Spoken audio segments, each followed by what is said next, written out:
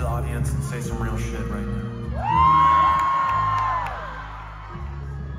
Folks, I know the world is a really fucked up place right now.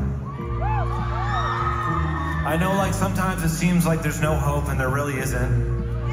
And that music is just a frivolous thing with no point, which it is. But I know times are hard for people and times are tough, so I wanted to do something to help you guys. I wish I had some words to say that would give you some comfort in these trying times, but I just don't have that.